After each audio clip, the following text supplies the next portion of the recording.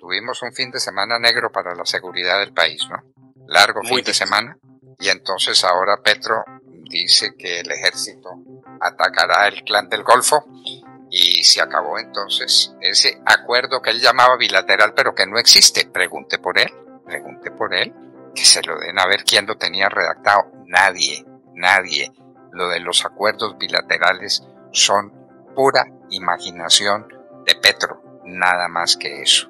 Y entonces ahora tenemos estas, estas amenazas de los mineros ilegales, de los traficantes de cocaína y lo que va a pasar en Colombia. Lo que va a pasar en Colombia. El fin de semana, doctor Fernando, eh, cuando muchos ciudadanos pretendían celebrar San José, no fue igual para los habitantes del Chocó, Arauca y del Bajo Cauca antioqueño, que vieron cómo la violencia se desata por cuenta de los grupos terroristas con los que Gustavo Petro dice que está hablando de paz. El tema del Clan del Golfo, si le parece, sería lo, primero que podemos eh, relatar de lo que pasó el fin de semana, donde de hecho hubo un Consejo de Seguridad extraordinario, donde Petro llegó para tratar de dar anuncios y entre esos anuncios que trata de dar está el del famoso cese, eh, eh, terminación del cese bilateral con el clan del Golfo. Cese bilateral con el clan del Golfo, doctor Fernando, que no fue nunca bilateral. El, cese siempre fue unilateral, fue a las fuerzas militares a las que se les impedía o se les impide atacar a las FARC, al clan del Golfo, y a otra serie de grupos terroristas. Muy compleja la situación, un Consejo de Seguridad que convocó Gustavo Petro para el día de ayer a las 2 de la tarde. Estuvo allí el ministro de eh, Defensa, que parece de Indefensa, Iván Velázquez, el del Interior Alfonso Prada, la cúpula de las fuerzas militares y el gobernador de Antioquia Aníbal Gaviria, que a través de Twitter ha estado implorando por la seguridad del departamento desde hace ya varios días.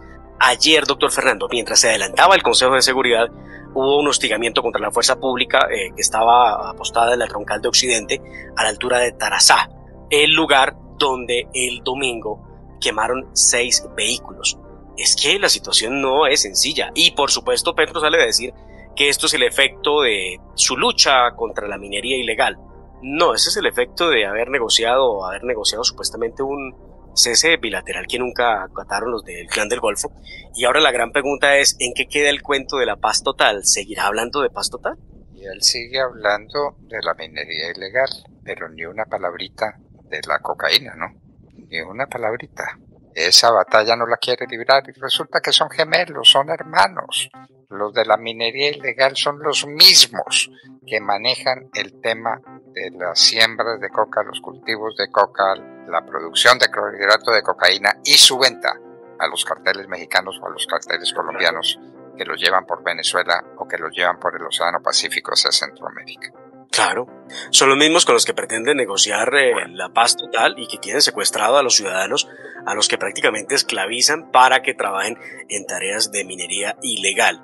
Pero lo cierto es que no fue el único hecho del fin de semana, doctor Fernando, reportamos también el lamentable accidente de un helicóptero UH-1N en, Quito, en el Chocó, gracias a la pericia de la piloto Juliet García.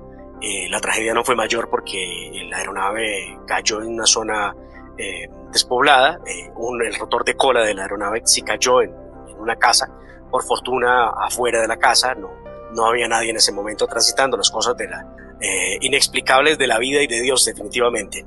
Pero muy triste noticia eh, el hecho de que este aeronave, este helicóptero cayera en el Chocó. Eh, Juliet García Cordero, 31 años de edad tenía esta mujer. Tres miembros más de la Fuerza del Ejército Nacional fallecieron en la caída de este helicóptero. Y pues, doctor Fernando, quiero que pedirle que escuchamos unos segunditos la voz de Juliet. Así hablaba ella de su servicio a la patria.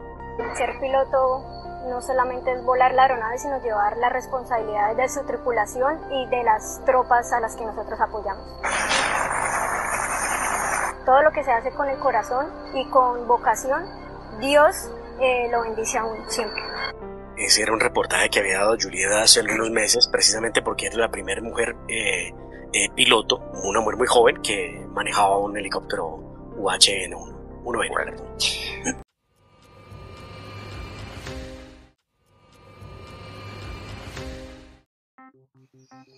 A mí que me la envuelvan. Aquí alguien tiene que responder. El paro en el nordeste antioqueño fue provocado por el Ministerio de Minas y la senadora Zuleta con una absurda acta de autorización de la minería ilegal, de la maquinaria y de las dragas de septiembre del año pasado. En esta política errática, aquí no se puede mezclar eh, peras y manzanas.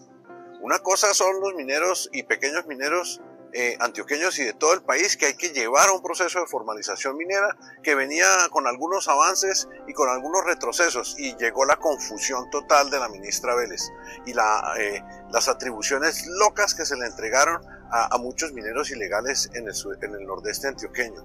Y otra cosa es el Golfo.